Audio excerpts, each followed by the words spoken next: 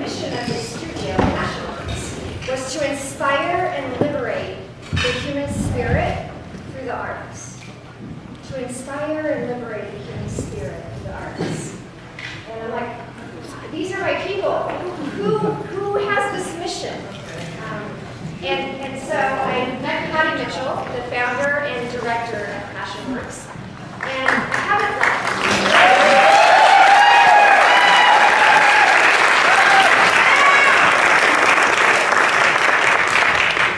when she started in the back room of a shelter workshop.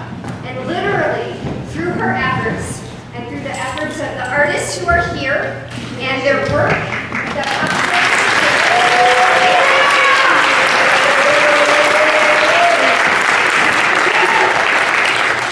the Their work inspires us.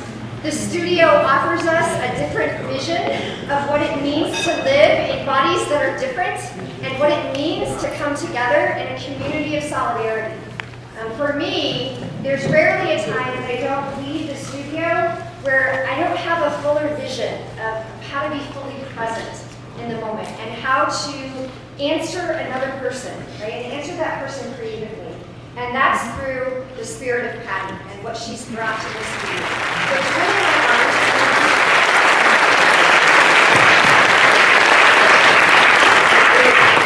You guys, oh my gosh. You know, if, if I were to live a dream, I'd be living this right now, and I am. And so, the thing is, people often ask me, did you ever, could you ever imagine?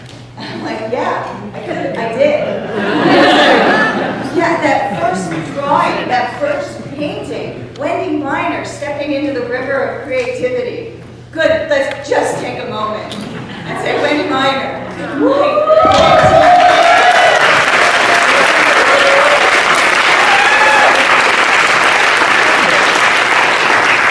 And, and it was in, all of this is in response to wanting to, the world to be better.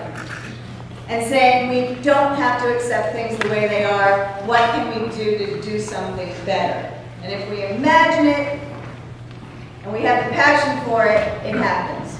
So, most of you don't know, because I don't talk about it very often, but we had a brother who was institutionalized.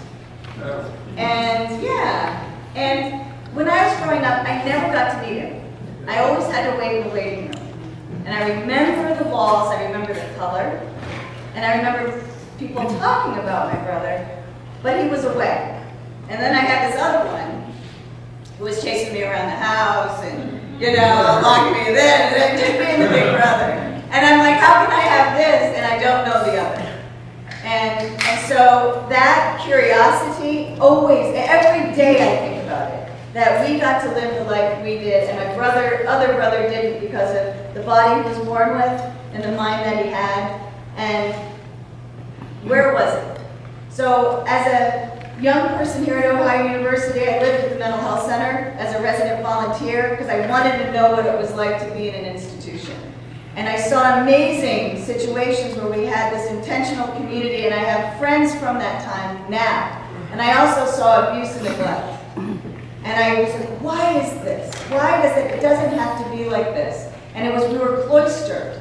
And there were many people that were in this space with very few in control. And so when you walk into PassionWorks, when you look around that space, every inch of it is intentional. We are the door to the outside where anybody can come in, no shadows, no room for abuse. We attract the best staff, we attract the best volunteers. We imagine something better, and we will not tolerate abuse, neglect, or anything for when we are all us. And the spirit of the artists can be felt in that show.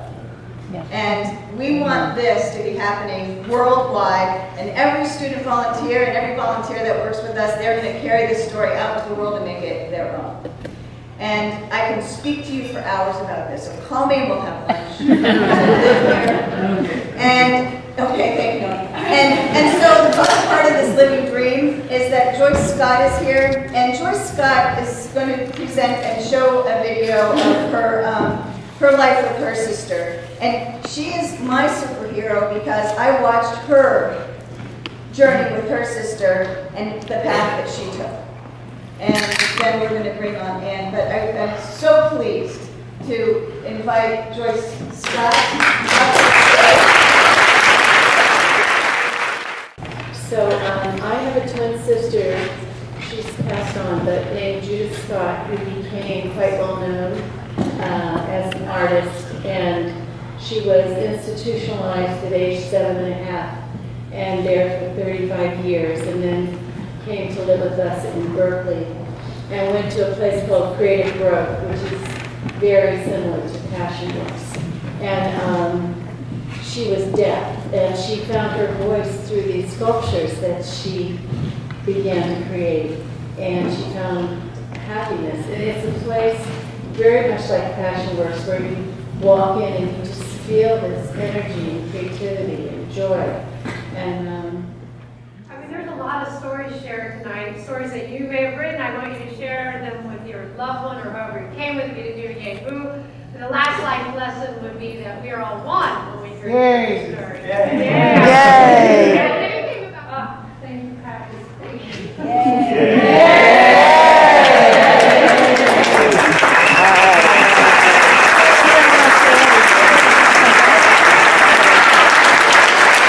Boy, she is, um, And I am so grateful to all of you and to take this ride, and we are brave, and I cannot wait to see what happens next.